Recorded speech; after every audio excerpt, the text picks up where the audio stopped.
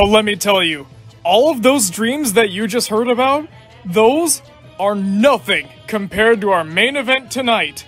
Oh yeah. Buckle up, folks. This one's gonna be wild. Once again, I promise you, this is real. This actually happened in my head, of course. It didn't happen in real life. If it did, it would have been all over the news. But oh boy, this is nuts. This dream I like to call. and I won't tell you what I binged here because I want to see if you can guess it. Okay, here we go. So I was in the car with the Griswold family from Christmas vacation and we crashed into a tree. We were trying to get to Chicago for some type of event, so we pulled over and asked a farmer how to get there. The farmer turns out to be a man who owns a commercial airliner. He gives me and Russ, the son, the last two seats on the flight. The rest of the family decides to use his truck and we board the plane. And on the plane is almost the entire cast of the Heathers musical finishing up Candy Store for some reason. Because I guess when you're in a Broadway musical, the only thing you're allowed to do is get out of your seat and start singing songs from the show. So in the dream, I think, huh, maybe this is some kind of theater on a plane and I walked in too late. However, once the song is done, they just stay in character. They don't go by the story, it's just them. Realizing that there's no JD or Ram on board because obviously you can totally cut them out of the musical, they asked us to officially join the theater group and I chose the part of JD while Russ decides to be Ram. I sit next to Veronica and try my best to stay in character, but in the dream I hadn't seen the full musical so I didn't really know what I was doing. Then she starts singing Dead Girl Walking, because, I don't know, I guess she's socially awkward and doesn't know how to socialize with people? I don't know, I'll give her the benefit of the doubt. Eventually, the plane lands at the old theater group that I used to be a part of back in my high school days. They were doing a production of the Friends episode, the one with Monica and Chandler's wedding. Everyone in the Heathers cast agrees to see the show and sit in the audience while I go backstage and meet the actors and say hi to my old friends, as well as other people that I just happen to know in life that weren't actually part of the group in real life, but oh well, cool cameos, I guess. They excitedly greet me but tell me that the person playing Chandler is injured, so I need to play him because of course I do. By the way, from here on, all the Heathers cast is never mentioned again, they just disappear. So I not only have to play Chandler now, but I just am him now. So I run off from the wedding, just like I do in the episode, and I run from the actual performance to get in character. Because, okay.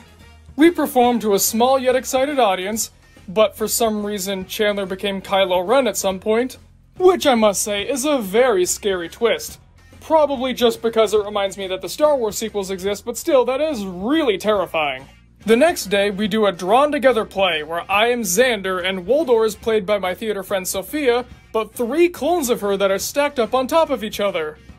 Yeah, that looks exactly like him, man. I don't know what you're thinking. Have you even seen the show? I mean, pff, look, it's a, it's identical. Because that was such a big success, they decided to do more plays. One of them is based off of Bionicle the Mask of Light, where I played Makuta. For some reason, every cast member came out one by one at the end to take a bow.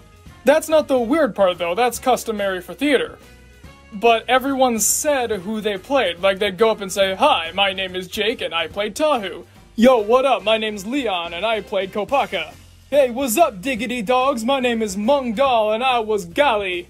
These weren't the actual people, they were people in real life, and I just changed their names. Because the Bionicle play was such a success, we decided to go celebrate at a random campsite.